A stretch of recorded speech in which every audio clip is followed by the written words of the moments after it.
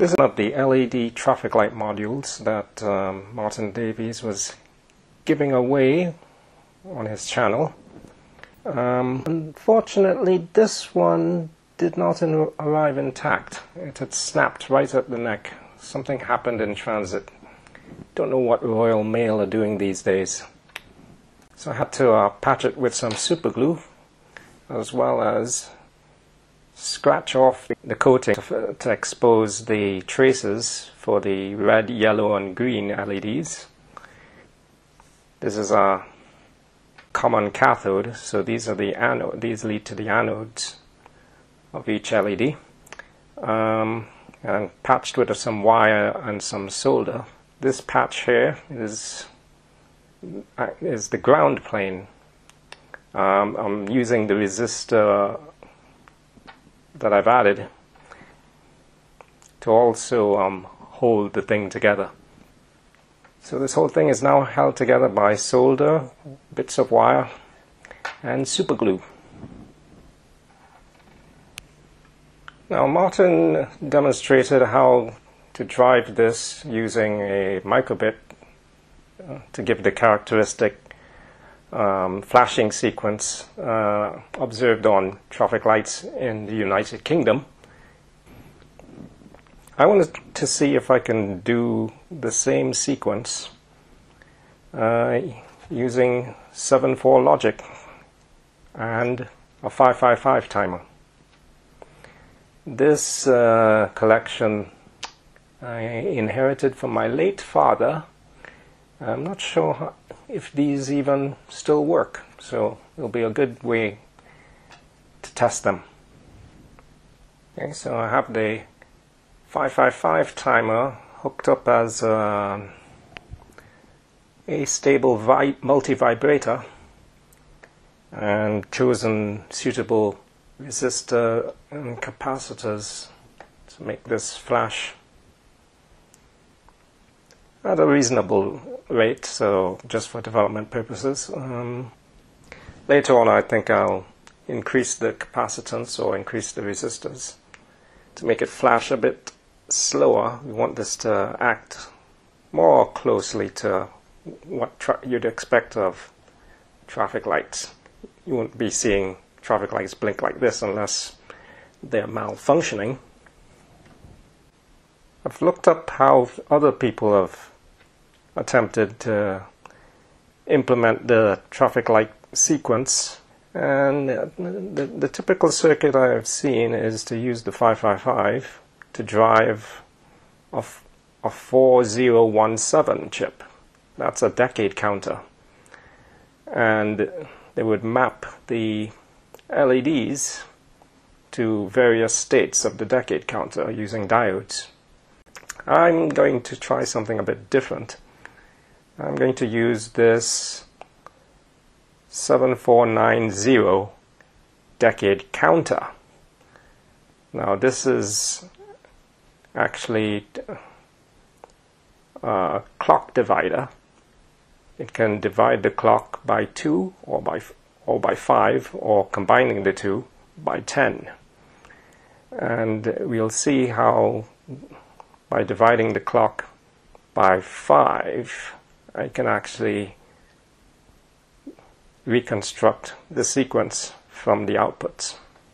So I have the 555 astable multivibrator um, driving the clock input to the 7490. I'm making use of the two least significant bits out of the divide by 5 counter. So it's dividing the clock by 5 and we're using the two bits to drive the yellow and the red. So, so the yellow is flashing uh, twice as much as the red is. And that gives us the sequence that we require for the traffic lights. Now I added a second capacitor in parallel to slow down the clock, just to clarify what is happening here. So this is now counting from 0 to 4 inclusive and it's expressing on its output the binary of those numbers. And I'm using just two of the bits here to drive the red and the yellow.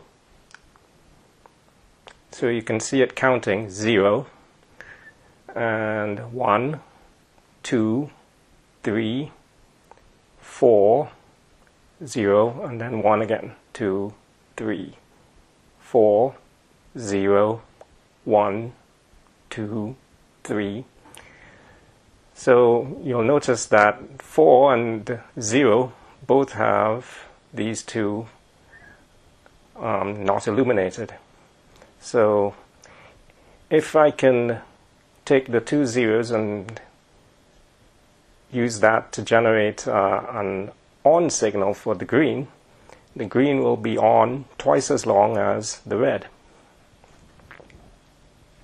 Now, that isn't too unusual. This could be like a major road and being crossed by a minor road. So you'd expect the green to stay on longer than the red.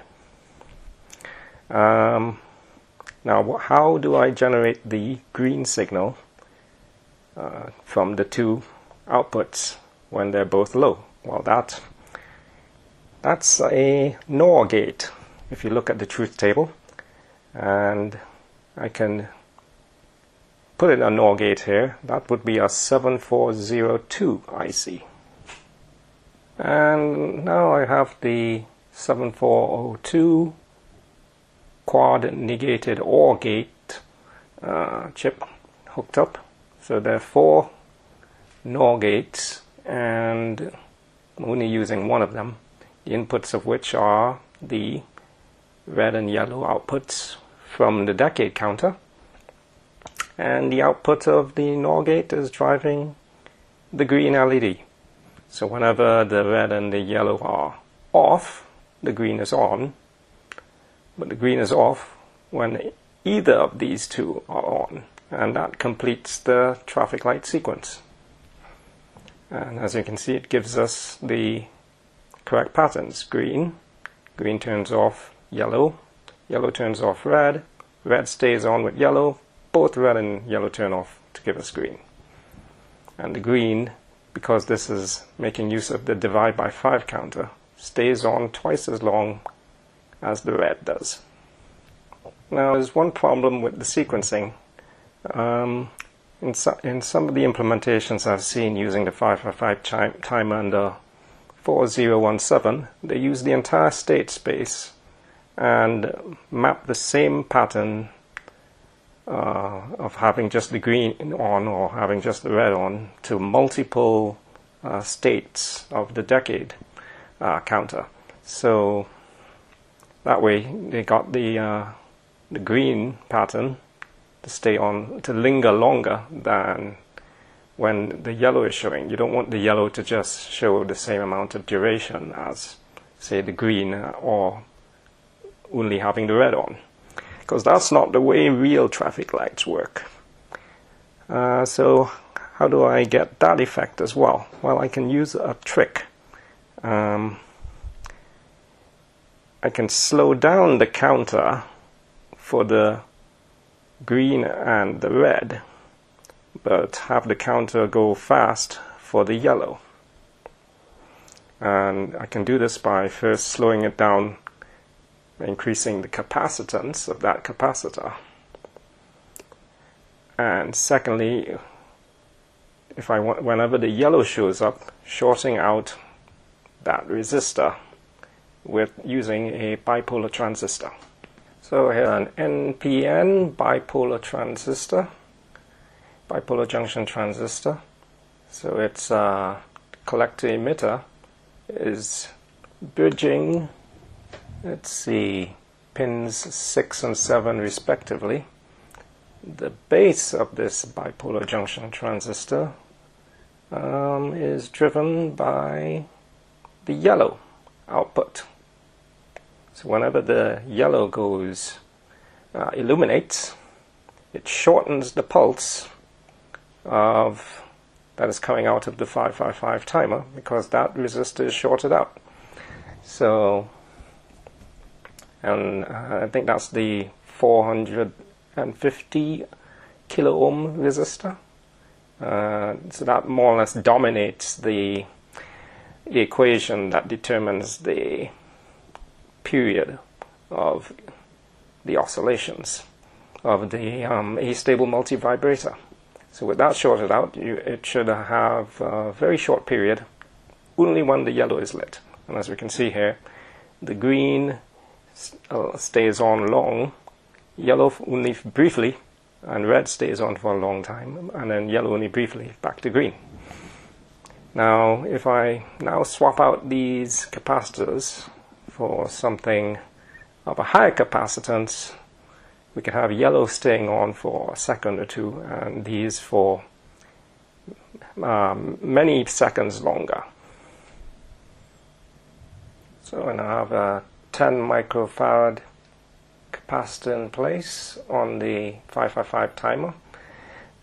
And so that now slows the entire process down. So this green LED now stays on for more than 10 seconds. This stays on for just a second or so. The red stays on for at least 7 seconds, I think, before the yellow turns back on, but only briefly before it go back to the green.